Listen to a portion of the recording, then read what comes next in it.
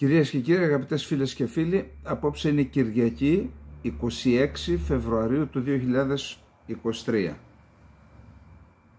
Δύο ημέρες έμεινε για να φύγει αυτός ο μήνας. Οι εξελίξεις τρέχουν. Θα ξεκινήσουμε και πάλι από το θέμα της Ουκρανίας. Παρατηρώ βασικά δύο, σε δύο περιοχές υπάρχουν σχετικές ε, εξελίξεις θα έλεγα. Ξεκινάμε από τον Μπαχμούτ. Εκεί η Βάγνερ συνεχίζει να έκανε μία διείσδυση προς το κέντρο της πόλης. Έχει φτάσει κοντά στο κέντρο της πόλης από ανατολικά και επίσης από βόρειο-δυτικά έχει πάρει ε, αυτές τις δύο μέρες δύο-τρεις οικισμούς που θεωρούνται συνοικίες του Μπαχμούτ και νότια επιτίθεται σε μία νότια δυτικά επιτίθεται σε, μια, σε ένα χωριό που βρίσκεται έξω δυτικά του Μπαχμούτ που αν καταλάβει αυτό το χωριό αποκόπτεται εντελώς, εντελώς το, το Μπαχμούτ από ε, τα υπόλοιπα μέτωπα, θα έχει περικυκλωθεί δηλαδή πανταχώθεν. Ε, στο Βουλεντάρ είδα ένα βίντεο, δεν ξέρω αν είναι αλήθεια, έχουν κάνει μια προέλαση δυτικά ανατολικά του Βουλεντάρ αλλά είδα μια, ένα βίντεο όπου πήγαιναν τεθωρακισμένα οχήματα του ρωσικού στρατού και έπεφταν είτε πάνω σε ναρκοπαίδια είτε πάνω σε πυρά ε, αντιαρματικά ή πυρά αρμάτων. Είχε αρκετές καταστροφές. Δεν, δεν φαίνεται να πέτυχαν κάτι για τον οικισμό του Βουλεντάρ. Επαναλαμβάνω είχαν μια προέλαση ανατολικά μερικά ένα-δυο χιλιόμετρα. Και στο βορρά υπάρχουν και εκεί ορισμένες μικρές, ε, μικρά κέρδη εδαφικά Αυτά ο Σοϊγκού δήλωσε, ο Υπουργός Άμυνας της Ρωσίας δήλωσε στο ΤΑΣ, στο πρακτορείο ειδήσεων ΤΑΣ, ότι εάν ε, ε, ε, την ανησυχία του για την συνεχιζόμενη αποστολή όπλων στην Ουκρανία από τη Δύση και είπε ότι αναλόγως με τα όπλα που θα δοθούν εμείς θα απομακρύνουμε την απειλή επεκτείνοντας τα σύνορά μας δυτικά.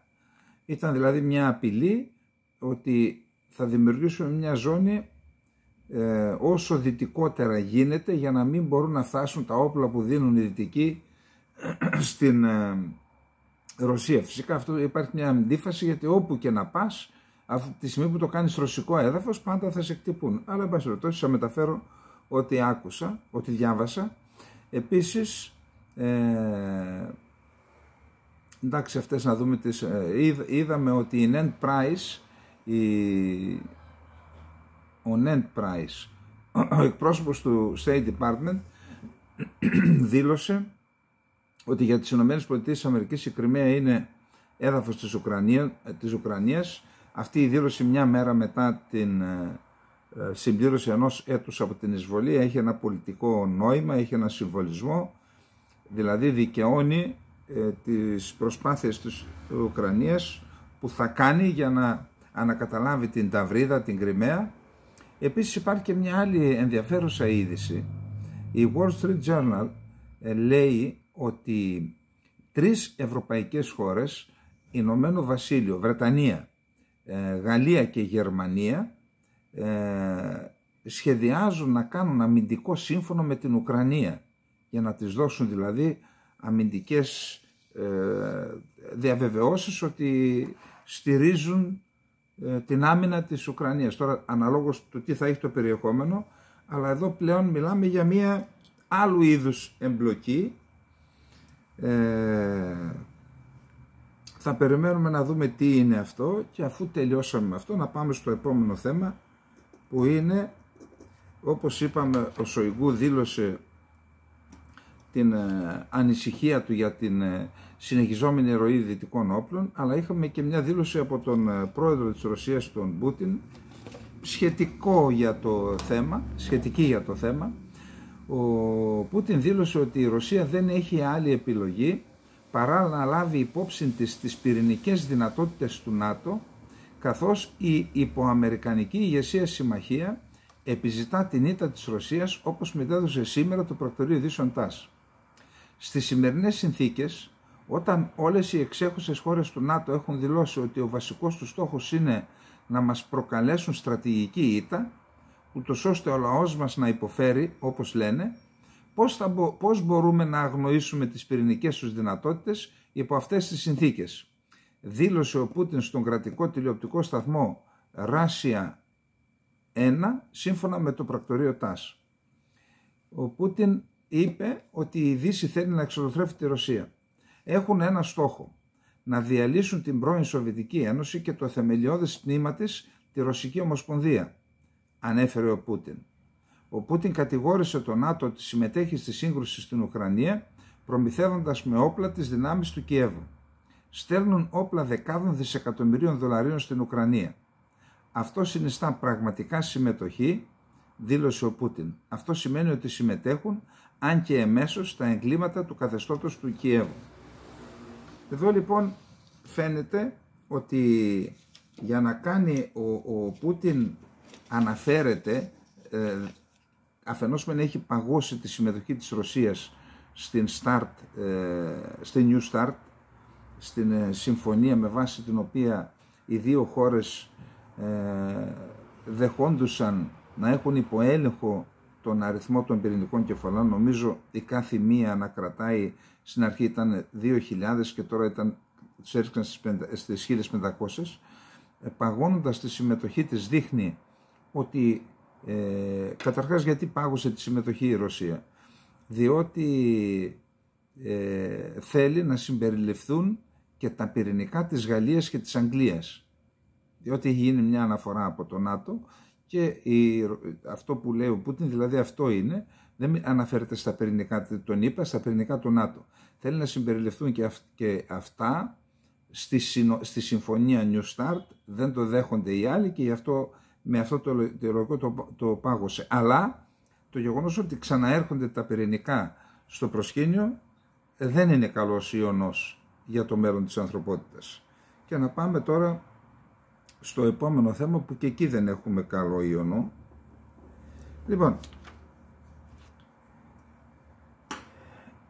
έχουμε δηλώσεις για το ενδεχόμενο να στείλει η Κίνα οπλικά συστήματα, θανατηφόρα μάλιστα όπως το αναφέρουν, γιατί θα μπορούσε να στείλει εξαρτήσεις κράνη, δεν είναι θανατηφόρα, να στείλει οπλικά συστήματα, εκείνα είναι αμυντικό υλικό, δεν είναι οπλικά συστήματα, να στείλει οπλικά, θανατηφόρα οπλικά συστήματα στην ε, Ρωσία και είχαμε δηλώσεις και από τον Τζέικ Σάλιβαν, το σύμβολο ασφαλείας του Λευκού Οίκου, αλλά και από τον διοικητή της υπηρεσίας πληροφοριών τον, της CIA, τον κύριο Μπέρνς.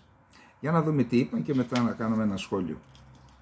Η Κίνα δεν έχει προχωρήσει στην αποστολή στρατιωτικής βοήθειας που θα, μπορούσε, που θα βοηθούσε την Ρωσία στην εισβολή της στην Ουκρανία και οι Ηνωμένες Πολιτείες της Αμερικής έχουν καταστήσει σαφές πίσω από κλειστές πόρτες ότι μια τέτοια κίνηση θα είχε σοβαρές συνέπειες για την Κίνα, δήλωσε σήμερα ο σύμβουλος Εθνικής Ασφάλειας του οίκου Τζέικ Σάλιβαν. Μιλάμε τώρα, απείλησαν την Κίνα, αλλά θα σας πω τι πιστεύω γι' αυτό.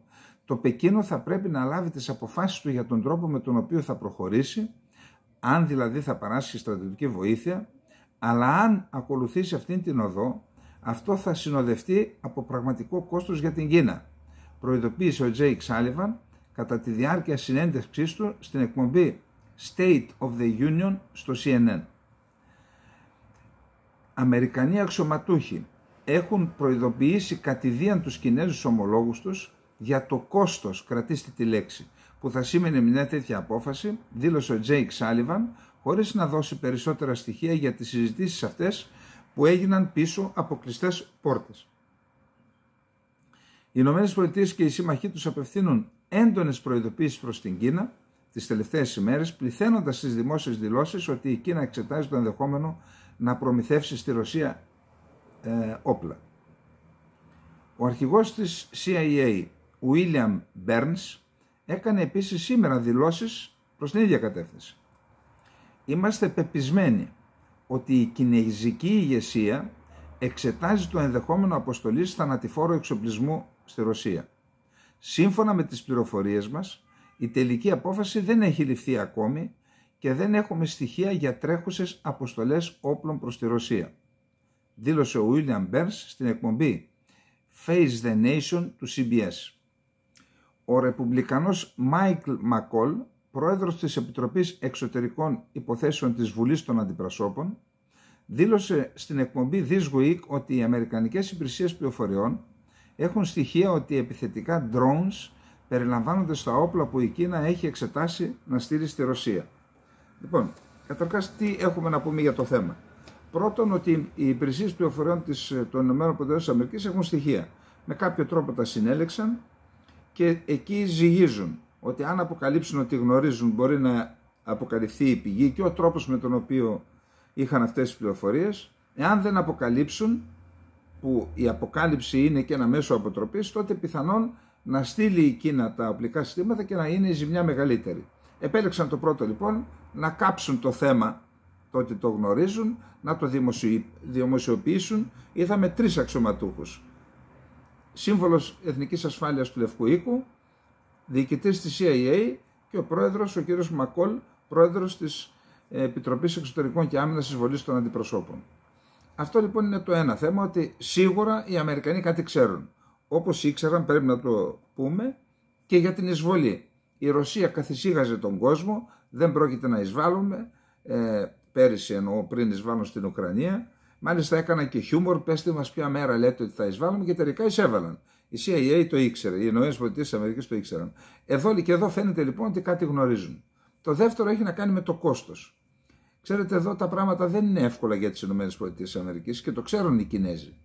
Εάν σας έχω πει ότι υπάρχουν εταιρείες κολοσσής στις ΗΠΑ που αποτελούν και τεραχοκοκαλιά της οικονομίας που ακόμα δεν έχουν απεξαρτηθεί από, την, από, τις, από τις παραγωγικές δομές που έχουν στην ε, Κίνα. Μιλάμε τώρα για εταιρείες κινητών, η Apple και τα λοιπά.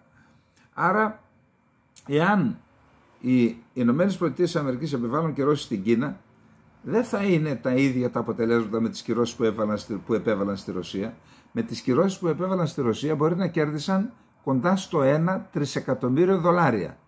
Με τις κυρώσεις που θα επιβάλλουν στην Κίνα θα χάσουν παραπάνω από 1 τρισεκατομμύριο δολάρια. Οι υπολογισμοί μου είναι αυθαίρετοι, ιδιαίτερα για το δεύτερο, αλλά είναι μια αυθαίρετη εκτίμηση. Λοιπόν, ε, γιατί, διότι με τις κυρώσεις που επιβάλαμε οι Ευρωπαίοι στην ε, Ρωσία, υπέστη ζημιές εκατοντάδων δισεκατομμύριων δολαρίων η ευρωπαϊκή αγορά. Γιατί το Δούνε και Λαβίνη ήταν μεταξύ Ρωσίας και Ευρώπης. Και ποιο είναι το, το, το, το αστείο, ότι εμείς που τιμωρήσαμε τη Ρωσία, η Ρωσία πήγε αλλού, θα διαβάσετε, θα δούμε μετά ένα άρθρο, δεν είχε ζημιές, ζημιές είχαμε εμείς. Ε, τότε τι διάολο κυρώσεις είναι αυτές, με τις οποίες τιμωρούμε τον εαυτό μας. Θα τιμωρήσει τον εαυτό της και ΗΠΑ, γι' αυτό ανέφερα το θέμα. Πάντως, το θέμα της, ε, ε, ε, το, το, θέμα της αποστολής όπλων της ε, Κίνας είναι γεγονός ότι απασχολεί το σύνολο της δύσης και όχι μόνο αυτό, το θέμα Κίνα απασχολεί το σύνολο της δύσης. Ο Μακρόν είπε ότι θα πάει, ο Σούλτς, ο Σούλτς νομίζω θα πάει στην Ινδία. Τέλος πάντων όλοι ψάχνουν να βρουν στην Ασία στηρίγματα για να αντιμετωπίσουν αυτόν τον νέο παράγοντα που εκτός από οικονομικός έγινε και γεωπολιτικός παράγοντας πλέον την Κίνα να αντιμετωπίσουν την επιρροή της. Λοιπόν, και επειδή μιλάμε γι' αυτό, να πάμε να δούμε τι λέει η Deutsche Welle για τις κυρώσεις, γιατί είπαμε για κυρώσεις. Λοιπόν, ακούστε εδώ.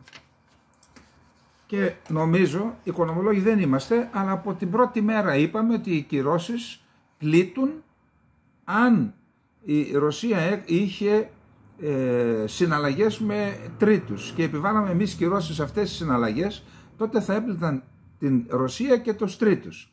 Όταν όμως οι συναλλαγές είναι Ευρώπη και Ρωσία, είπαμε ότι θα πλήξουν και εμάς. Για κοιτάξτε λοιπόν εδώ τι έγινε. Και είναι από την Deutsche Welle και από πολύ δυνατούς ε, αναλυτές. Από τις πρώτες ημέρες μετά τη ρωσική εισβολή στην Ουκρανία, να γράψουμε εδώ το σύστημά μας, μισό λεπτό λίγο. Λοιπόν, από τις πρώτες μέρες μετά την εισβολή στην Ουκρανία, άρχισαν οι κλειδονισμοί για τη ρωσική οικονομία. Υπό την ηγεσία των ΗΠΑ και της Ευρωπαϊκής Ένωσης, η Δύση επέβαλε κυρώσεις στη Μόσχα, το ρούβλι υποχώρησε σε ιστορικά χαμηλά, η Κεντρική Τράπεζα της Ρωσίας διπλασίασε τα επιτόκια και το χρηματιστήριο της Μόσχας έμεινε κλειστό για ολόκληρες μέρες. Με σοβαρές και μαζικές κυρώσεις απειλούσαν οι Ευρωπαίοι ηγέτες, ενώ ο Λευκός Οίκος είχε προβλέψει συρρήκνωση του ρωσικού ΑΕΠ κατά 15% το 2022. Όμως οι πλέον σκοτεινές προβλέψεις δεν επιβεβαιώθηκαν. Μπορεί η ρωσική οικονομία να βρέθηκε ενώπιον σοβαρών προκλήσεων το 2022, αλλά οι τελικές επιδόσεις ήταν καλύτερες από τις αναμενόμενες. Βέβαια, είναι αδύνατο να έχει κανείς πλήρη εικόνα, καθώς πολλά οικονομικά στοιχεία θεωρούνται πλέον απόρριτα με απόφαση του Κρεμλίνου.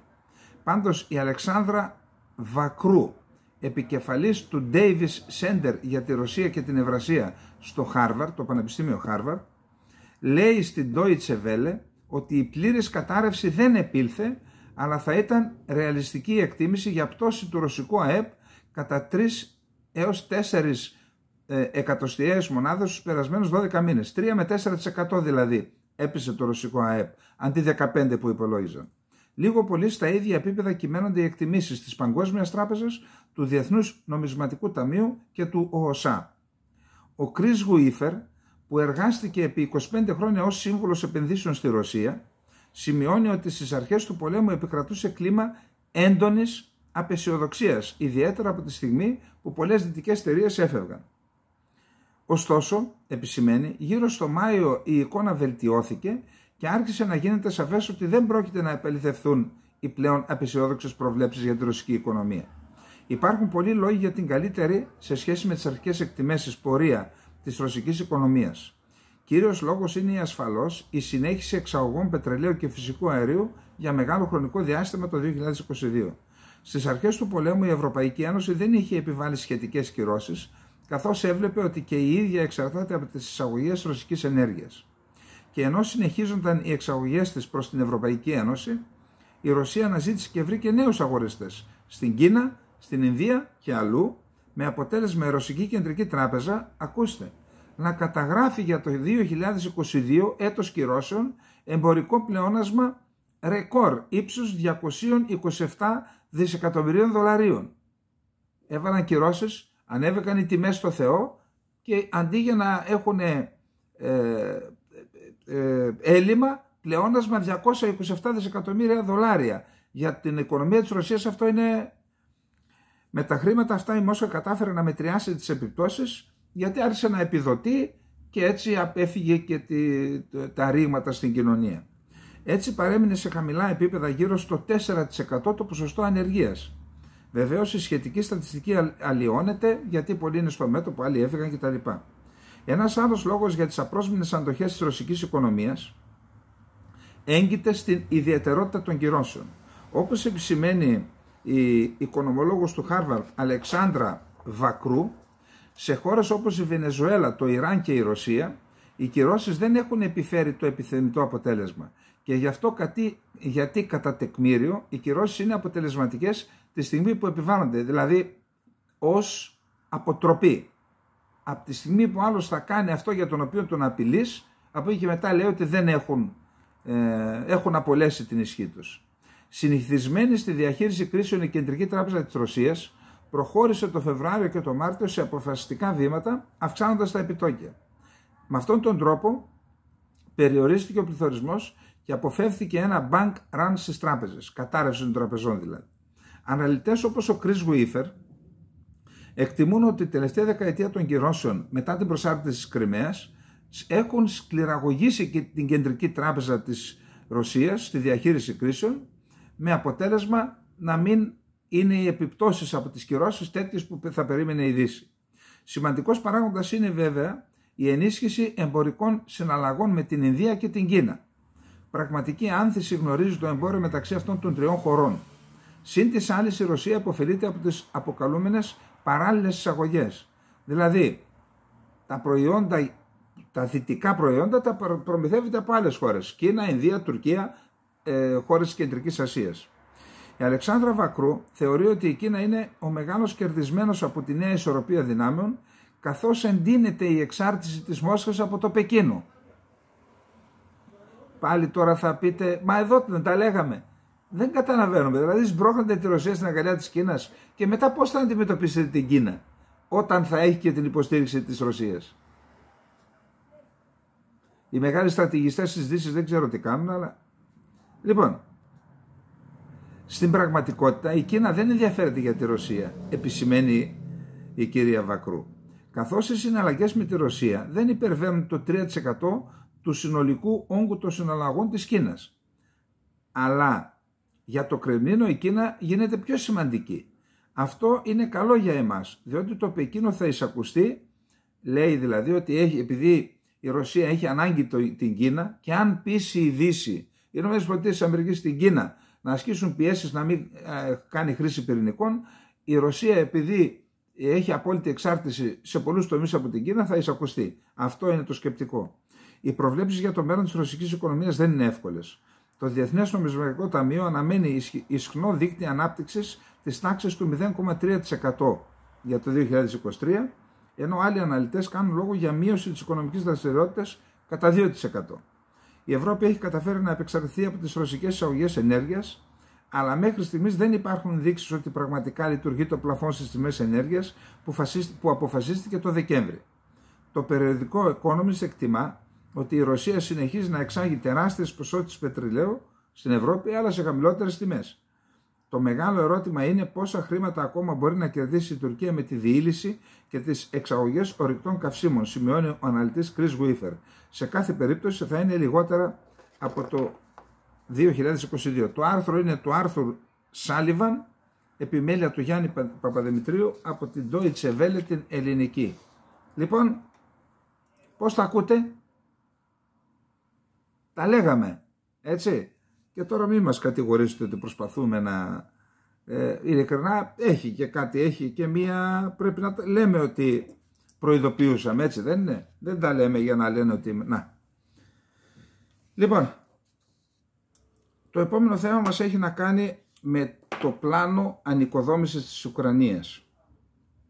Απασχόλησε τους Υπουργούς Οικονομικών της G20 στην Ινδία πρόσφατα απασχολεί την Ευρωπαϊκή Ένωση, απασχολεί τις ΗΠΑ της γίνονται διάφορες, ε, διάφοροι υπολογισμοί για το θέμα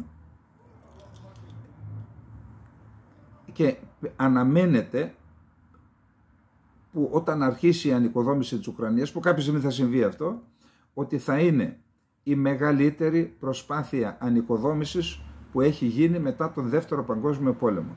Σύμφωνα με το CNBC, η Παγκόσμια Τράπεζα εκτιμά ότι το Ουκρανικό ΑΕΠ συρρυκνώθηκε κατά 35% το 2022 και προέβλεψε τον Οκτώβριο ότι το, ποσό το ποσοστό του πληθυσμού με εισόδημα κάτω από το εθνικό όριο της φτώχειας θα αυξηθεί σχεδόν στο 60% μέχρι το τέλος του, 22, του 2022 ενώ το αντίστοιχο ε, χρονικό διάστημα το 2021 ήταν μόνο 18%. Δηλαδή μιλάμε για την καταστροφή του Ουκρανικού λαού. Και γι' αυτό είπα ότι αξίζει τη συμπαράστασή μας ο Ουκρανικός λαός και να μην ακούω ανοησίες τώρα από διάφορους. Η Παγκόσμια Τράπεζα έχει κινητοποιήσει μέχρι στιγμής 13 δισεκατομμύρια δολάρια σε χρηματοδότηση έκτακτης ανάγκης, επιχορηγήσεις, εγγυήσεις, συνδεδεμένη παράλληλη χρηματοδότηση από ΗΠΑ, Ηνωμένο Βασίλειο, Ευρώπη και Ιαπωνία το Διεθνές Νομισματικό Ταμείο εκτιμά ότι η Ουκρανική οικονομία συρριγνώθηκε κατά 30% το 2022, ο πληθωρισμός άρχισε να επιβραδύνεται αλλά έκλεισε στο 26,6% σε ετήσια βάση. Τώρα, στη συνάντηση των J20 την Πέμπτη, η Υπουργός Οικονομικών τον είπα Τζάνετ Γέλεν κάλεσε το Διεθνές Νομισματικό Ταμείο να κινηθεί γρήγορα προς το πλήρως χρηματοδοτούμενο πρόγραμμα δανεισμού με την Ουάσιγκτον να ετοιμάζει οικονομική βοήθεια ύψους 10 δισεκατομμύριων δολαρίων τις επόμενες εβδομάδες. Ακούστε πόσα λεφτά έδωσαν οι Ηνωμένες Πολιτείες. Μέχρι στιγμής έχουν δώσει σωρευτικά 76,8 δισεκατομμύρια δολάρια σε διμερή στρατιωτική, οικονομική και ανθρωπιστική βοήθεια στην Ουκρανία. Από αυτά είναι 46,6 δισεκατομμύρια δολάρια σε στρατιωτικές επιχορηγήσεις και δάνεια όπλα και βοήθεια για την ασφάλεια. Η Αγγλία έδωσε 5,1 δισεκατομμύρια δολάρια και η Ευρωπαϊκή Ένωση έδωσε 3,3 δισεκατομμύρια δολάρια. Τώρα, λέει ότι σε μια πρόσφατη εκτίμηση της Οικονομικής Σχολής του Κιέβου, οι συνολικές ζημιές στις Ουκρανικές υποδομές ανέρχονται σε 138 δισεκατομμύρια δολάρια, ενώ ο Ζελένσκι έχει εκτιμήσει ότι η, ανοικοδόμηση της χώρας θα μπορούσε τελικά να κοστίσει πάνω από ένα τρισεκατομμύρια δολάρια. Τώρα γιατί επέλεξα αυτό το άρθρο να είναι το πέμπτο θέμα μας στην απόψη μας εκπομπή; Γιατί άκουσα την, την Μελώνη να διεκδικεί μερίδιο στην ανοικοδόμηση της Ουκρανίας. Καλά, λογικό είναι η κάθε χώρα να προσπαθήσει να προωθήσει τα συμφέροντα των δικών της κατασκευαστικών εταιριών. Αλλά τη στιγμή που ακόμα είναι το κατεστραμμένο σώμα της Ουκρανίας, ακόμα γίνεται πόλεμος, μου φαντάζει σαν τα κοράκια που στέκονται πάνω από ένα πτώμα να, να αρπάξουν. Εντάξει. Και ορισμένοι έχουν, υπάρχουν και κάποιες φωνές και εδώ στην Αθήνα. Τι θες ρε εσύ, λέει, στέλνουμε όπλα για να έχουμε δικαίωμα μετά να, στο, στις κατασκευές, να πάρουμε μερίδιο. Αυτό πραγματικά, επαναλαμβάνω, λογικό είναι την επόμενη μέρα να προσφερθείς και να πεις εντάξει και εγώ σε βοήθησα, αλλά ο τρόπος με τον οποίο γίνεται θα έλεγα ότι είναι άθλιος. Εν πάση περιπτώσει θα είναι ένα μεγάλο στίχημα η επόμενη μέρα στην Ουκρανία πώς θα ξαναχτιστεί αυτή η χώρα. Λοιπόν, επόμενο θέμα. Είναι, το περίεργο ποιο είναι. Ότι ενώ έγιναν κυρώσεις, ότι ενώ έγιναν προσπάθειες να ε, απομονωθεί η Ρωσία διεθνώς, να αποδυναμωθεί διεθνώς,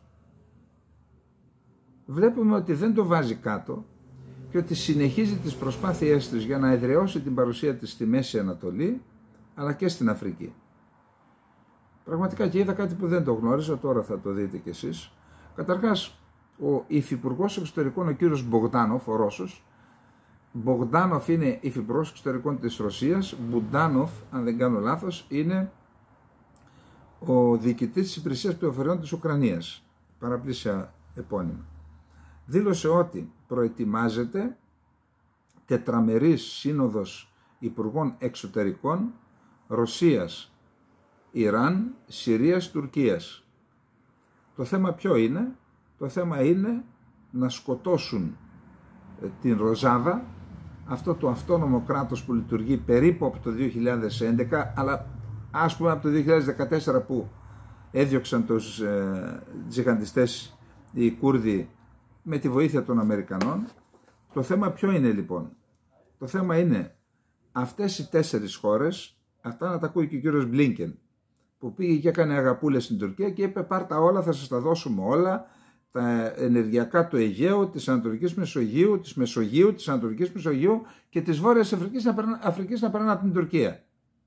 Λοιπόν, καταρχάς σήμερα είχαν χρόνια πολλά, αγαπητέ, να είσαι καλά, ε, ο Πούτιν στον Ερδογάν για τα γενέθλιά του, κύριε Μπάιντεν.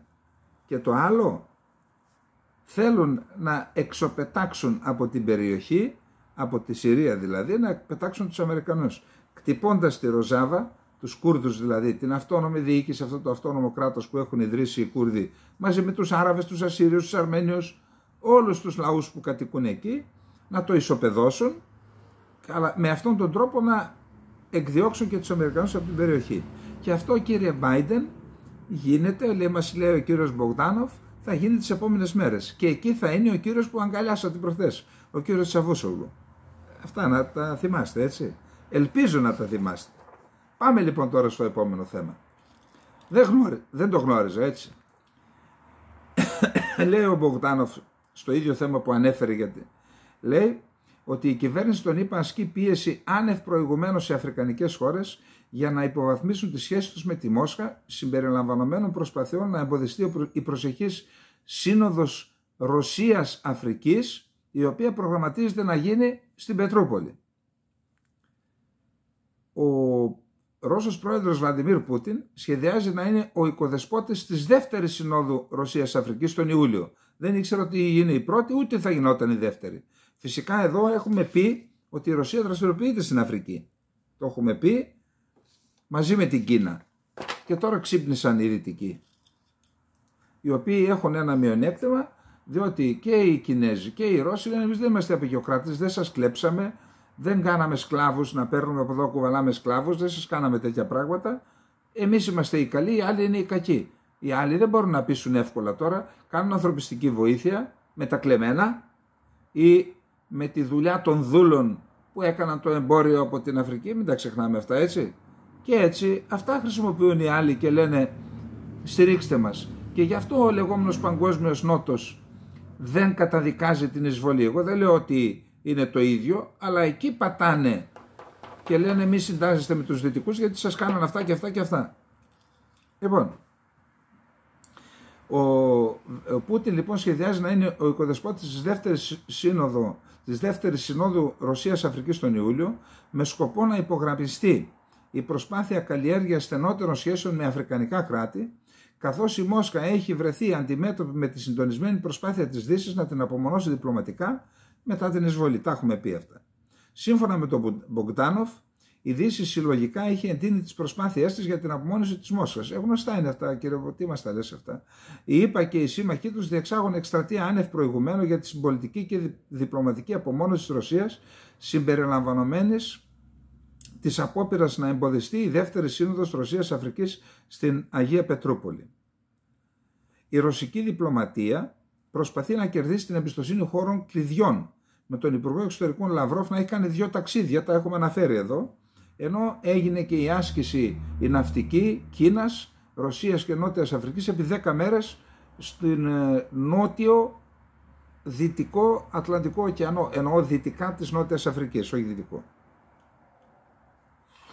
Λοιπόν, ε, επίσης είναι κρίσιμος και ο ρόλος της εταιρείας Wagner, αυτής του μισθοφορικού στρατού, στο Μαλί, ε, στην Πορκίνα Φάσο και σε, σε περιοχές που έχουν χρυσορυχία και αδαμαντορυχία, την ασφάλεια την έχει αναλάβει η Βάγνερ, ε, παίρνει μερίδιο από το χρυσό και από τα διαμάντια και έτσι ασκείται η επιρροή. Ο Αμερικανός πρόεδρος Τζο Μπάιντεν από την πλευρά του οργάνωσε σύνοδο κορυφής και αυτός, είπα Αφρικής το 2022 στην Ουάσιγκτον για να ενισχύσει τις Αμερικανικές συμμαχίες στην Ήπειρο καθώς Ρωσία και Κίνα εντείνουν την προσπάθειά τους να εδραιώσουν την παρουσία τους σε αυτήν. Λοιπόν, ε, επίσης κατηγορούν οι, οι, οι Ρώσοι, ο Μποκτάνοφ, ότι κόβουν την ανθρωπιστική βοήθεια για να προκαλέσουν λοιμό στις χώρες της Αφρικής και να σε εκβιάσουν να πάνε, αν θέλετε δηλαδή, ε, ψωμί και φαΐ, μην, μην πηγαίνετε με τη Ρωσία. Εδώ να πούμε ότι η Κίνα έχει μία αθόρυβη διείσδυση στην Αφρική, αναλαμβάνει έργα υποδομές κρατών, το έχουμε ξαναπεί εδώ, δίνει δάνεια στις χώρες, όταν αυτές δεν μπορούν να τα αποπληρώσουν, τα έργα υποδομής περνούν στην κυριότητα της Κίνας και έτσι επεκτείνει την επιρροή της μέσα από αυτά τα έργα. Να θυμίσουμε ότι στη Λιβύη όταν έγινε εκείνη η επιχείρηση εξανθρωπισμού της Λιβύης, που σκότωσαν τον Καντάφη και την πληρώνουμε εμείς τώρα, την πληρώνει και η Ιταλία, σήμερα 60 νεκροί. Αν ζούσε ο Καντάφη ή τέλος πάντων το σύστημα που είχε κάνει, δεν θα είχαμε αυτές τις τραγωδίες. 60 νεκροί, νεκροί μετανάστες από τη Λιβύη στην Ιταλία, ε, στην Καλαβρία. Λοιπόν, ε, θυμάστε λοιπόν τότε ότι η Ελλάδα είχε αναλάβει μια επιχείρηση για την οποία μάλιστα πρόσφατα και πάλι η Κίνα επίσημα ευχαρίστησε την Ελλάδα. Να μεταφέρει Κινέζους που δούλευαν σε έργα υποδομής στη Λιβύη τους μετέφερε στον Πειραιά και από εδώ πήγαν στην... Άρα εκεί η Δύση έχει να αντιμετωπίσει ένα πρόβλημα το οποίο είναι και πολιτικό και έχει να κάνει με την απεικιοκρατία και τη σκλαβοκρατία όλα αυτά τα... Πάντως η Ευρώπη ακριβώς για να καταπολεμήσει αυτή την κατάσταση έχει επιβάλει κυρώσεις σε 7 άτομα νομίζω που, της Βάγνερ που δραστηριοποιούνται στην Αφρική και σε δύο που δραστηριοποιούνται στην ε, Ουκρανία.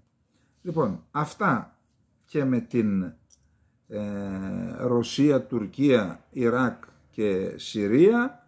Αυτό το απευθύνομαι στον κύριο, η ταπεινότητά μας στον κύριο Μπλίνκεν, τις αγκαλίτσες λοιπόν να τις θυμηθεί τώρα με ποιος τις κάνει και να πάμε στο επόμενο θέμα. Το επόμενο θέμα είναι η Λιβύη. Όπως ξέρετε, τα έχουμε πει εδώ, τα έχετε διαβάσει, εντάξει δεν είναι και... Η Αίγυπτος επειδή η Λιβύη, η κυβέρνηση του Μπεϊμπά δηλαδή, έχει πάρει το δρόμο της και έχει γίνει ένα ενεργούμενο γιουσουφάκια, τώρα επιτρέψτε μου τη λέξη, της, ε, του Ερντογάν και της Άγκυρας, προχώρησε σε μονομερή οριοθέτηση της αποκλειστικής οικονομικής ζώνης και της υφαλοκρηπίδας με τη Λιβύη. Και η Λιβύη παραπονέθηκε. Λέει γιατί το έκανες μονομερός, γιατί δεν διαβουλεύτηκες μαζί μου. Προσέξτε εδώ. Και τι αναφέρει στον ΟΗΕ, έστειλε στον ΟΗΕ ε, ρηματική διακοίνωση. Ακούστε εδώ, επιστολή.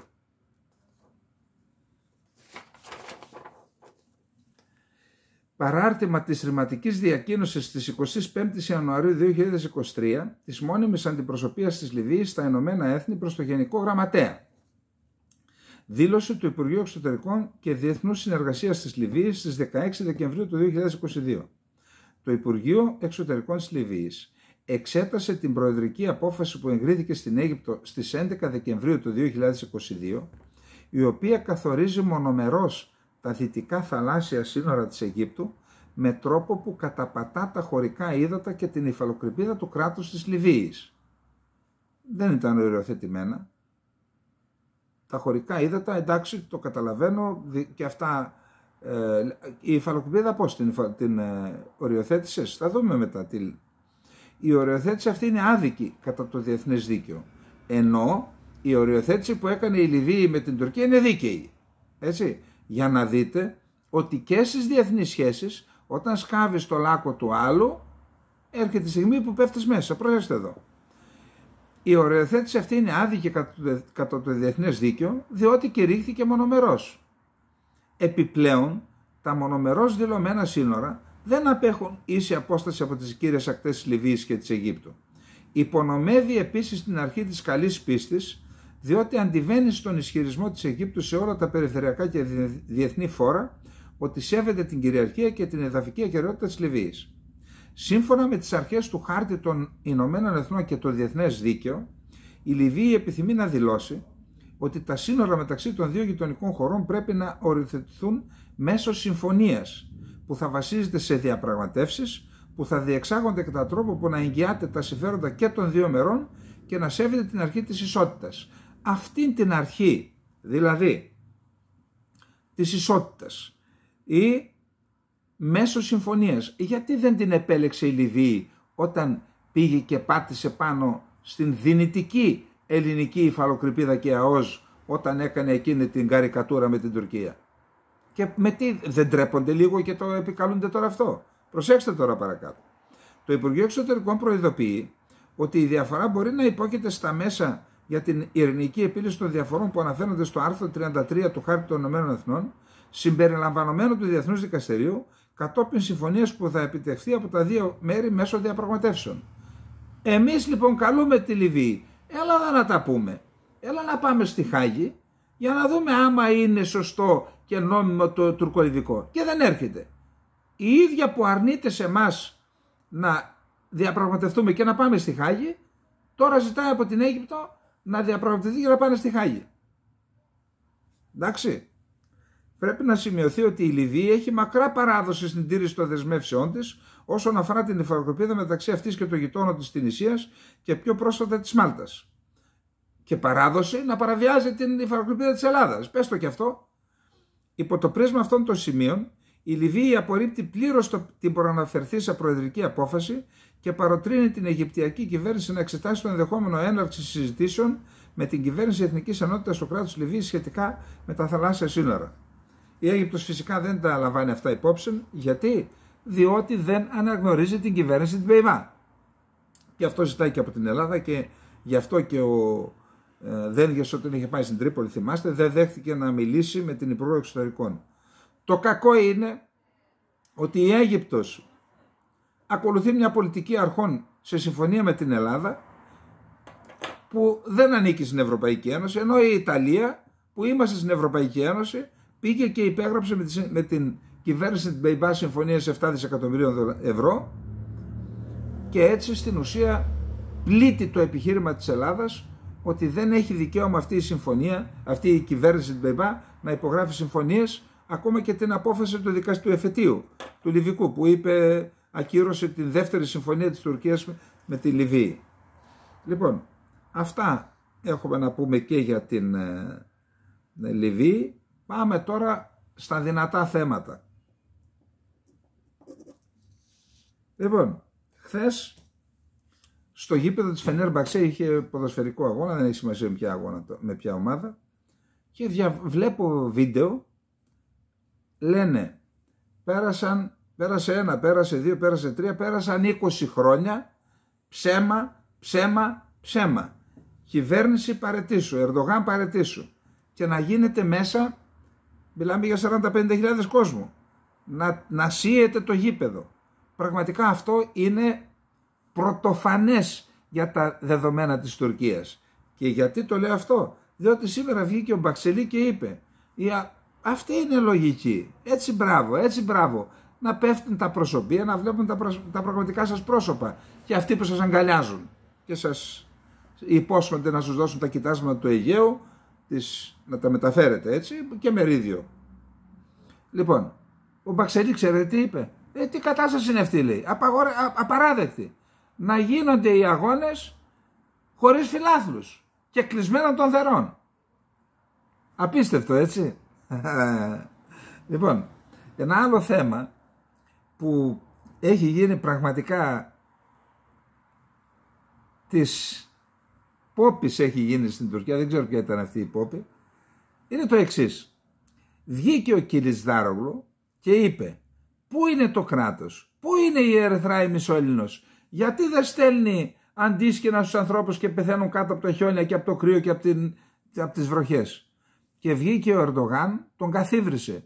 Τι λες βρε τυποτένε, βρε ανύπαρκτε, βρε βλάκα. Μιλάμε ύβρις έτσι, κανονικές στην τηλεόραση. Τι που είναι το κράτος; Εδώ είναι το, η Ερυθρά Μισέλνος, εδώ είναι το κράτος. Και τι αποκαλύπτεται; Ότι την τρίτη μέρα τον σεισμό, μετά το σεισμό, η Ερυθρά Έλληνος πούλησε αντίσκηνα σε μία μη κερδοσκοπική εταιρεία την Αγμπάπ η οποία ε, μάζεψε βοήθεια από τον κόσμο και αυτήν την πολέμησαν οι Τούρκοι. Διότι λέει τι είσαι εσύ, αποκαθιστάς το κράτος; Μα δεν σε εμπιστεύεται ο κόσμος. Το κράτος δεν δίνει, σε αυτόν δίνει. Άστο να κάνει τη δουλειά του. Ο άνθρωπος πήγε και αγόρασε χιλιάδες σκηνές την τρίτη μέρα και τις μετέφερε, η οργάνωση δηλαδή, τις μετέφερε στους σεισμόπληκτους και πλήρωσε στην, στην Ερυθρά Εμισέλινο. Αποκαλύφθηκε το σκάνδαλο. Έρχεται τώρα ο κύριος Δάρογλου και λέει στον Ερντογάν εσύ είσαι που με έβριζες και μου έλεγες τι λες, να η Ερυθρά Μισέλινος. Ορίστε η Ερυθρά Μισέλινος αντί να πάει η ίδια τα αντίσκηνα που είχε στις αποθήκες της να πάει να τα δώσει στον κόσμο τα πούλησε σε μια ε, ανθρωπιστική οργάνωση και αυτοί τα στείλανε πέρα. Καλά εκεί γίνει χαμός. Απλά θέλω να σας διαβάσω εδώ ο κύριος Νίκος Μουδούρος λέκτορας στο τμήμα τουρκικών και μεσανατολικών σπουδών στο Πανεπιστήμιο της Κύπρου. Έκανε μια καλή δουλειά, την οποία την πήρε από την τουρκική αντιπολίτευση. Τώρα δεν έχω και χρόνο να τους διαβάζω τους Τούρκους. Αφού το έκανε στο φιλελεύθερο, να σας το πω, για άλλη μια φορά αποδεικνύεται ότι και στις διεθνείς σχέσεις και στην πολιτική, όταν σκάβεις στο λάκκο του άλλου, τι είπαμε ότι γίνεται, πέφτεις μέσα. Προσέξτε, ειλικρινά, ειλικρινά η ιστορία εκδικείται. Προσέξτε τα πρόσωπα του κράτους απόντα τις πρώτες ώρες μετά το σεισμό τώρα βγάζουν το κεφάλι τους από κάθε γωνιά. Η δουλειά που ξέρουν καλύτερα είναι η συνεχή να βγάζουν ανακοινώσεις. Οι μηχανισμοί και οι σχέσεις που εμφανίστηκαν εξαιτίας του σεισμού απέδειξαν ότι η κατάσταση είναι πιο τρομακτική από όσο νομίζαμε. Είναι ξεκάθαρο και τόσο λυπηρό.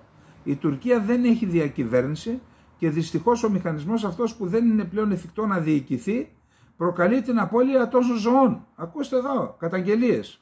Εάν ανεχτούμε να μην λεχτούν αυτά που πρέπει τώρα, που είναι η καταστροφή, για να προστατεύσουμε μια δίθυνη ενότητα, εάν δηλαδή σιωπήσουμε, τότε θα γίνουμε συνένοχοι στην αιώνια σιωπή τόσων χιλιάδων ανθρώπων. Τρομερά λόγια.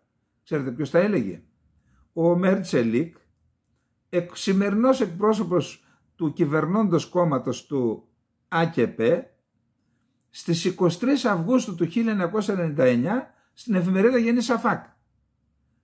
Αυτά που λέει τώρα ακριβώς του λένε ως επιχείρημα λέει δεν θέλουμε να πούμε τίποτα δικό μας. Παίρνουμε τα λόγια σου και στα επιστρέφουμε. Η ίδια εφημερίδα, προσέξτε, η Γενή Σαφάκ, επικοινωνιακή ναυαρχίδα του Ερντογάν. Στις 19 Αυγούστου σε πρωτοσέλιδο του 1999 κάτω από τον κεντρικό τίτλο «Η κατάρρευση του κράτους», απίστευτο, προσέξτε. σχολίαζε επικριτικά την καθυστέρηση στην αντίδραση της τότε κυβέρνησης με τα εξής λόγια. Το κράτος που είναι ακόμα και όταν δεν πρέπει ο παντοτινά φωνα... Ε, ε, λοιπόν, το κράτος που είναι ακόμα και όταν δεν πρέπει ο παντοτινά έτοιμος φρουρός και κηδεμόνα σε εισαγωγικά, επικριτικά το έλεγε, τώρα δεν μπορεί καν να φτάσει στους ανθρώπους που φωνάζουν βοήθεια. Ό,τι είπε τότε για τους άλλους, του το γυρνάνε οι άλλοι τώρα. Ο Ερντογάν τότε ενερχόμενο αστέρι της τουρκικής πολιτικής ξεσκέπασε τα σκάνδαλα και τα εγκληματικά λάθη της κυβέρνησης Ετσεβίτ στο ζήτημα της οικιστικής πολιτικής και του αστικού μετασχηματισμού λέγοντας ότι στο σεισμό του 1999 δεν έσπασαν μόνο οι τεκτονικές πλάκες αλλά χάθηκε παντελώς και η τροπή. Του το γυρίζουν πάλι τώρα.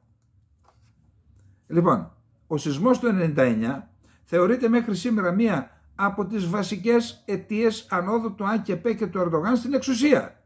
Το σκαλοπάτι ήταν. Αυτό εκμεταλλεύτηκαν τότε. Πέρα από τις τραγικές κοινωνικές και οικονομικές διαστάσεις, η καταστροφή στην περιοχή του Μαρμαρά προκάλεσε πολιτικούς μετασυσμούς.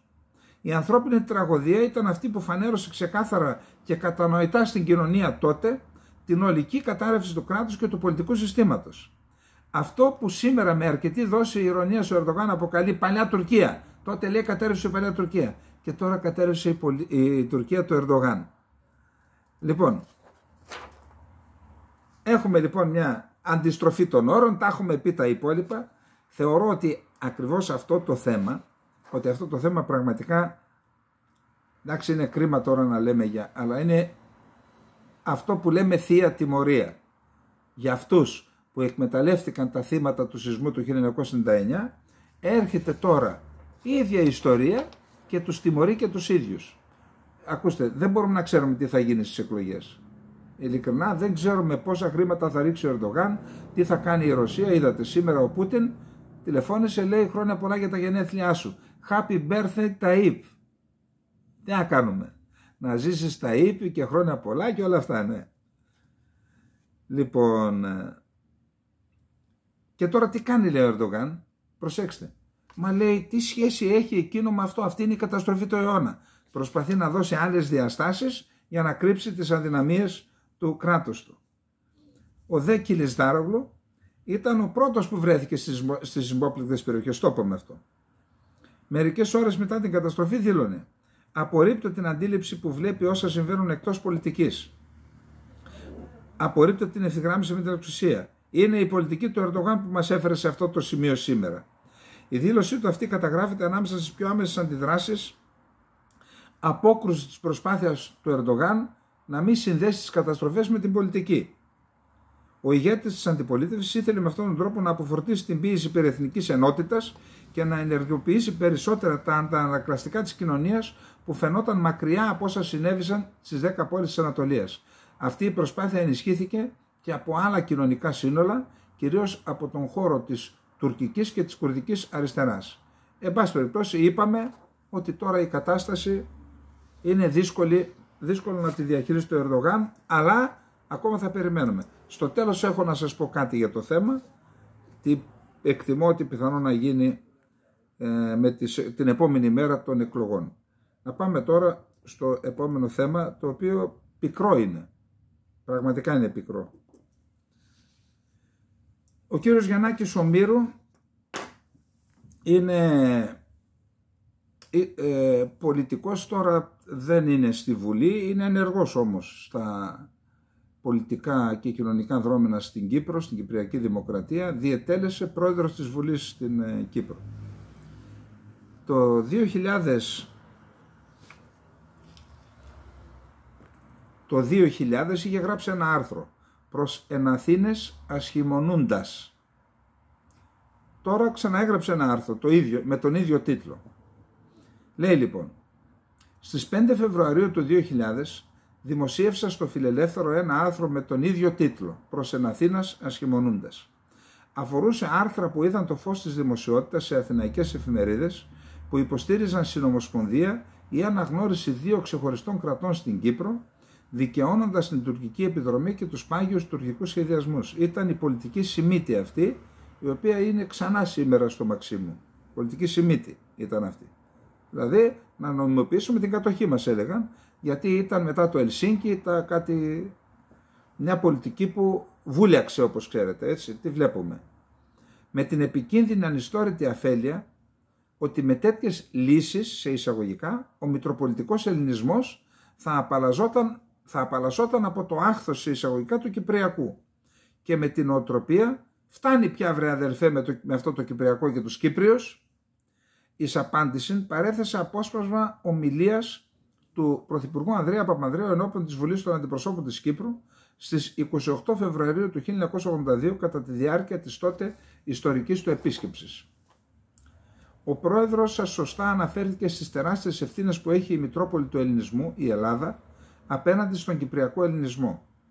Πράγματι άφρονες αξιωματικοί αφού κατόρθωσαν να υπονομεύσουν τις ένοπλες δυνάμεις, παρέμειναν δια της βίας στην εξουσία 7 ολόκληρα χρόνια. Και στο τέλος της καταστροφικής τους πορείας, παρέσυραν στην καταστροφή και τη μεγαλώνισο την Κύπρο. Η ευθύνη είναι δική τους και όχι του ελληνικού λαού, ο οποίος δεν ήταν σε θέση να εκφράσει τον πόθο του για μία Κύπρο ανεξάρτητη, για μία Ελλάδα δημοκρατική. Αλλά παραμένει αλήθεια ότι είναι ελλαδική ευθύνη, όπως και αν συνέβη, Εάν θέλετε είναι ευθύνη δική μας, γιατί δεν κατορθώσαμε να δομήσουμε τότε τους δημοκρατικούς θεσμούς σε βάσεις νόμιμες, μόνιμες, που να εγγυώνται πάντα το σεβασμό της λαϊκής κυριαρχίας. Και ένας από τους σκοπούς του ταξιδιού μου εδώ είναι να επουλώσω, όπως είπα και χθες, αυτό το τραύμα και να σας διαβεβαιώσω ότι δεν είσαστε μόνοι. Η Ελλάδα γνωρίζει σήμερα άριστα την ευθύνη απέναντι στον ελληνισμό της Κύπρου. Συγγνώμη τώρα, και εδώ ο Παπαντρέου δεν μας τα είπε καλά, δηλαδή μόνο οι εξωματικοί έφταιγαν. Το 55 ποιος πήγε, δέχτηκε την τριμερή. Η Αθήνα, η κυβέρνηση της Αθήνας, του κ. Κωνσταντίνο Καραμαλή δεν τη δέχτηκε. Το 60 ποιος ακύρωσε τους αγώνες στην ΕΟΚΑ, της ΕΟΚΑ με τις συμφωνίες Ζηρίχης και Λονδίνου που σύμφωνα με τον νομπελίστα Σεφέρη έβαζαν από τότε την Τουρκία στο, στην Κύπρο. Το, τη δεκαετία του 60 οι πολιτικοί δεν έκαναν τα κόλπα της αποστασίας και όλα αυτά για να ανοίξουν την πόρτα και στην Χούντα. Ασφαλώς έχουν ευθύνες οι αξιωματικοί, αλλά μην τις περιορίζω μόνο εκεί. Η Ελλάδα ευθύνεται. Η Ελλάδα ευθύνεται για το Κυπριακό. Και σε όσους λένε ευθύνεται ο Μακάριος ή, ή ο ΚΒ και τα λοιπά, εντάξει, και αυτοί κάποιον έβλεπαν και έκαναν λάθη. Όταν βλέπουν το κέντρο να κάνει λάθη, κάνουν και αυτοί. Εδώ είναι η ευθύνη η τεράστια. Και φυσικά ο Ανδρέας μπορεί να έκανε κάποια βήματα και είχε το Κυπριακό πρώτη προτεραιότητα της ελληνικής εξωτερικής πολιτικής, το πούλησε και αυτό στον Ταβός μετά την κρίση του 87. Διαβάστε το βιβλίο εδώ. Στον Τόμενο, στον υποχωρήσεων στο Αιγαίο. Εδώ τα λέει ο Σταύρος. Στη διδακτορική του διατριβή και με ντοκουμέντα. Πάμε παρακάτω. Οι δηλώσεις αυτές του Ανδρέα Παπανδρέου ενώπιον της Κυπριακής Βουλής των Αντιπροσώπων απέδιδαν με αίσθημα ιστορικής και εθνικής συνείδησης τη διάσταση των ευθυνών ολόκληρου του έθνους, ολόκληρου του ελληνισμού απέναντι στην Κύπρο. Η προδοσία του 1974, η μεγαλύτερη στη σύγχρονη ελληνική ιστορία, βαρύνει ασφαλώς τους επίορκους αξιωματικούς των ελληνικών ενόπλων δυνάμεων και τους συνεργούς τους στην Κύπρο. Δεν απαλλάσσει όμως ευθυνών ούτε την προπάρξασα το 67 πολιτική ηγεσία, ούτε αυτή που ακολούθησε. Με εθνική και πολιτική γενεοφροσύνη, ο Ανδρέας Παπανδρέου, εκπροσωπώντας και εκφράζοντας ολόκληρο το έθνος των Ελλήνων, ανέλαβε επίσημα αυτή την ευθύνη της οποίας αυτονόητη συνέπεια είναι η στήριξη του αγώνα του Κυπριακού Ελληνισμού για την ανατροπή των τραγικών αποτελεσμάτων της προδοσίας επιπρόσθετα από την επιβαλλόμενη συμπαράταξη που πρέπει να λειτουργεί μόνιμα και αμφίδρομα ως συνακόλουθο ακατάλητων εθνικών δεσμών Ελλήνων της Ελλάδας και Ελλήνων της Κύπρου. Ορισμένες απόψεις που και πάλι διατυπώνονται τελευταία στην Αθήνα και που ασφαλώς δεν εκφράζουν ούτε την επίσημη ελληνική κυβέρνηση ούτε οποιαδήποτε συντεταγμένη πολιτική δύναμη Πέραν το ότι συναισθούν μια ευθεία υπονόμευση των καθορισμένων διαχρονικά στόχων Ελλάδας και Κύπρου προς το Κυπριακό, αποπνέουν και μια αντίληψη που τίνει να διαγράψει αυτή την αυτονόητη ευθύνη του ελληνισμού απέναντι στην Κύπρο. Το χειρότερο όμως είναι ότι δηλητηριάζει τις σχέσεις του Μητροπολιτικού και του Κυπριακού Ελληνισμού και αποδυναμώνει την αναγκαία ομοψυχία σε αυτή την κρίσιμη εθνική συγκυρία. Να το διατυπώσουμε πιο απλά. Απόψεις που είδαν πολύ πρόσφατα το φως της δημοσιότητας σε άρθρα ελλαδιτών δημοσιογράφων, με αφορμή τις προεδρικές εκλογές στην Κύπρο καταδεικνύουν τη συνέχιση νοσηρών συμπτωμάτων όχι απλώς μιας επιπόλαιας πολιτικής προσέγγισης, αλλά μιας ανιστόρητης, ασυγχώρητης και κατάπτυσης προσπάθειας περιθωριοποίησης του Κυπριακού στον ελλαδικό χώρο και υποβάθμισής του από οφειλόμενη κορυφαία προτεραιότητα της ελληνικής εξωτερικής πολιτικής. Ιδού οι, οι, οι κάποιες περισπούδαστες απόψεις τους. Πέτρος Ούτσης εκδότης, τώρα πιανού εκδότης είναι δεν ξέρω. Οι εκλογές στην Κυπριακή Δημοκρατία πάντα ήταν κρίσιμες. Οι Κύπροι επηρεάζουν άμεσα από το 1915 με τις αποφάσεις τους την πορεία του έθνους. Όμως όλες οι αποφάσεις τους έχουν ως αφετερία το πορτοφόλι τους. Πόσα ρούβλια οι λίρες θα έχουν μέσα. Σκόπιμα μάλλον δεν λέει για τα δολάρια. Γιατί δεν λέει για τα δολάρια; Πού πήγαν τα 100 τόσα εκατομμύρια δολάρια για να πούν ναι στο σχέδιο Ανάν; Εκείνα σε πορτοφόλια μπήκαν. Γιατί δεν το λες Πέτρο αυτό; Τι συμβαίνει; Το αποτέλεσμα αυτών των εκλογών επιβεβαιώνει ότι καμιά τέτοια διάθεση δεν υπάρχει. Δεν έχουν, όχι όχι, όλες, το ξαναλέω, Πέτρο Σου τις εκδότες. Οι εκλογές στην Κυπριακή Δημοκρατία πάντα ήταν κρίσιμες.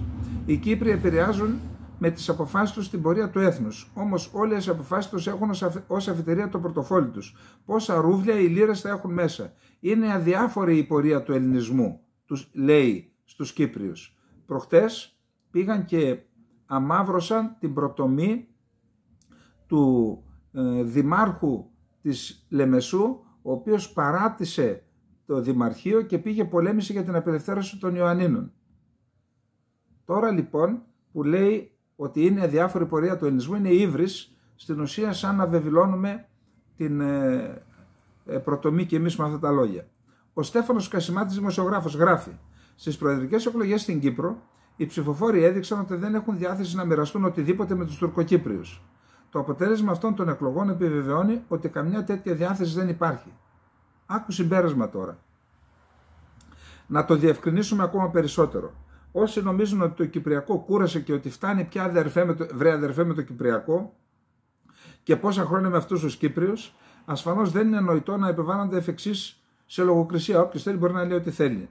Είναι όμως αναγκαίο να τους υποδειχθεί ότι ασχημονούν κατά τρόπο προπετή και επικίνδυνο ενώ αποδεικνύονται πολιτικά κοντόφθαλμοι και εθνικά μείωπες.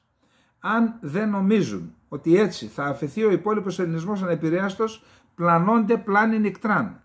Μια τέτοια εξέλιξη θα αποτελέσει εφαλτήριο για αποθράσιση των τουρκικών αντιφάγων βλέψεων που θα οδηγήσουν αναπόδραστα σε νέες περιπέτειες στον ελληνισμό ολόκληρο.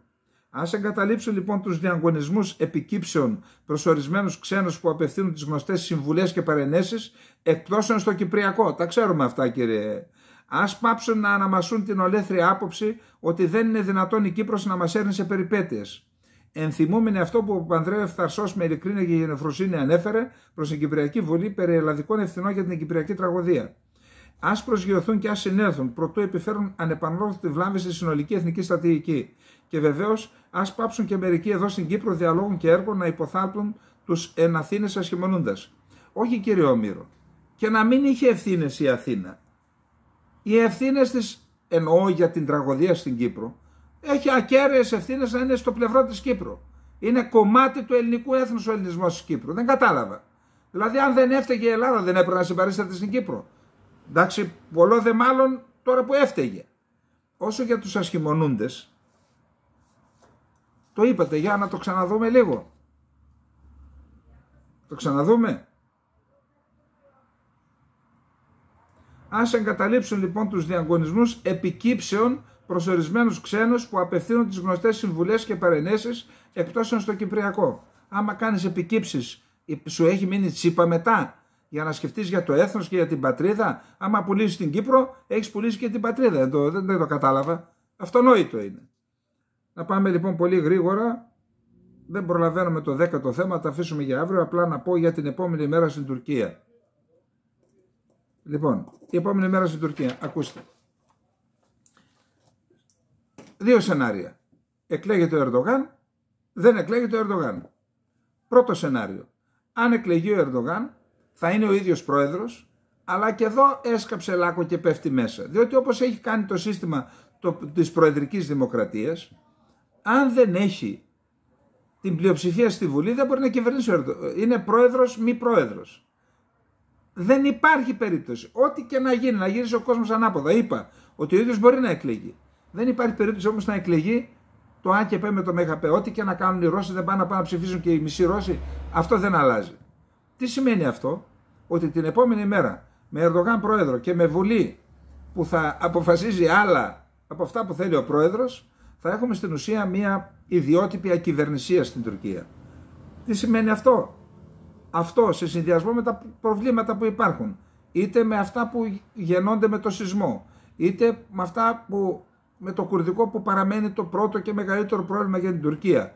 Και η ακυβερνησία θα οδηγήσουν την Τουρκία σε έναν κύκλο, δεν λέω σπυροειδούς, αστάθειας, πολιτικής αστάθειας, εσωστρέφειας.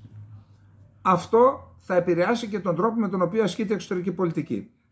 Δεύτερο σενάριο. Εκλέγεται ο κ. Δάρογλου, θα δούμε στις 2 του μηνός, 2 Μαρτίου, η αντιπολίτευση πιθανόν να ορίσει τον αντίπαλο του Ερντογάν. Ο Ερντογάν στις 10 Μαρτίου γράφεται ότι θα ε, ορίσει την ημερομηνία των εκλογών 14 Μαΐου ή 18 Ιουνίου.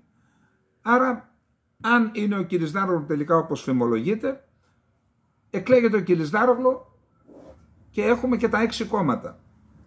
Τι θα ακολουθήσει; Θα ακολουθήσει δημοψήφισμα για να αλλάξει το σύνταγμα και να αλλάξει το πολίτευμα, να γίνει ξανά προεδρευόμενη.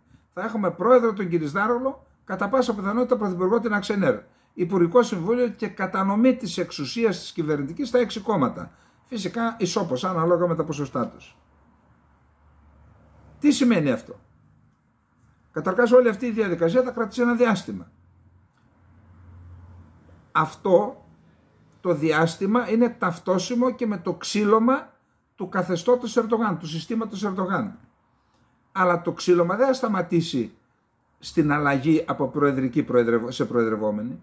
Θα συνεχιστεί το ξύλωμα με τη διαδικασία δικαίωσης όσοι μπήκαν φυλακοί και όσοι αδικήθηκαν από το σύστημα Ερντογάν, γκουλενιστές και τα λοιπά, στρατηγοί, ε, δικαστές, καθηγητές πανεπιστημίου, εισαγγελείς, πολιτικοί, όσοι μπήκαν φυλακοί, όσοι αναγκάστηκαν να φύγουν στο εξωτερικό, όλοι αυτοί θα επιδιώξουν τη δικαίωση.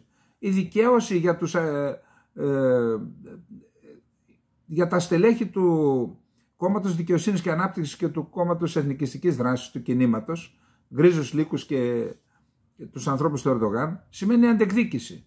Τι σημαίνει αυτό; Βαθύτερη εσωστρέφεια.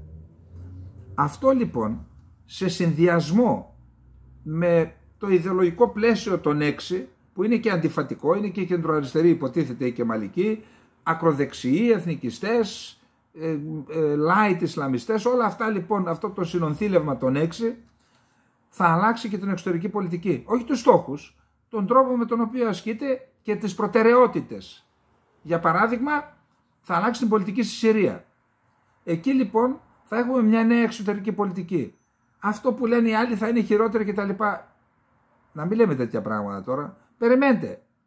Είπαμε, σε ό,τι μας αφορά δεν θα αλλάξουν πράγματα ε, όσον αφορά τους στόχους. Η ραχοκοκαλιά των τουρκικών επιδιώξεων θα παραμείνει. Αλλά θα αλλάξει, είπαμε, η ένταση με την οποία επιδιώκουν. Πότε θα έχουμε κρίση είτε με τον Ερντογάν είτε με τους άλλους. Κυρίως με τον Ερντογάν. Όταν μπουν σε διαδικασία εκμετάλλευσης ε, ενεργειακά αποθέματα που θα ή, είτε ερευνών είτε εκμετάλλευσης ενεργειακά αποθέματα είτε στην Κύπρο είτε στην Ελλάδα. Εκεί η Τουρκία έχει τη στρατηγική της, θα προσπαθήσει τότε να επέμβει. Κατά τα άλλα, τα υπόλοιπα όλα με την ένταση που τα έβαζε ο Ερδογάν, πιστεύω ότι αυτή η ένταση θα πέσει και στη μια περίπτωση με το πρώτο σενάριο και με το δεύτερο σενάριο. Λοιπόν, υπάρχει ένα πολύ σημαντικό θέμα με τα σχέδια των Αμερικανών για τα ενεργειακά στην Ελλάδα, το οποίο ας το αφήσουμε αύριο να δούμε αν θα βρούμε χρόνο, γιατί βλέπω ότι ο χρόνος μας έφυγε εδώ. Είχαμε μία αποτυχία στην απόψινή εκπομπή, να το δεχτούμε, να μην τα... Λοιπόν, Αυτά είχαμε να πούμε για απόψε. Εύχομαι μια, ένα καλό βράδυ Κυριακής. Αύριο έχουμε καθαρά Δευτέρα. Να καθαρίσουν οι ψυχές μας. Να σας πω και τι γίνεται στο χωριό μας τώρα, δεν έχω και χρόνο. Ε, ξέρετε, στα παλιά χρόνια τα πορτοκάλια ήταν και δισεύρετα. Οι γονείς μας έπαιρναν λοιπόν έγκαιρα ε, πορτοκάλια, τα έκρυβαν, διότι επειδή ήταν δισεύρετα τα κυνηγούσαμε, αυτό δε που όπου έκρυβε η μάνα κάτι, έκρυβε συνήθως το ε, βαζάκι με το γλυκό κουταλιού που είχε για τους ξένους. Και συνήθως το βρίσκαμε, τρώγαμε κρυφά και όταν ερχόταν κανένας ξένος ανακάλυπτε ότι Εμπάσχετα τους έκρυβε τα πορτοκάλια. Την Δευτέρα, την καθαρά Δευτέρα, γινόταν στο χωριό μου στη Βέργη Σερών ένα καταπληκτικό έθιμο. Όλοι, άντρες και γυναίκες, έπαιρναν ένα πορτοκάλι αναλόγως και πήγαιναν στους κουμπάρους και στους συγγενείς τους μεγαλύτερους, σε όλους τους συγγενείς. Έκαναν παρουσιαζόταν στον, σε έναν συγγενή, σε έναν θείο, στον αδερφό του πατέρα, σε κάποιον. Γονά, έκαναν τρεις, γονάτι τρεις φορές μετάνια μπροστά τους, έδιναν το πορτοκάλι και ζητούσαν συγχώρεση. Και ο μεγαλύτερος έδινε συγχώρεση. Ξέρετε, στα χωριά υπήρχαν εντάσεις για τα χωράφια, για είπες για μένα, δεν είπες για μένα.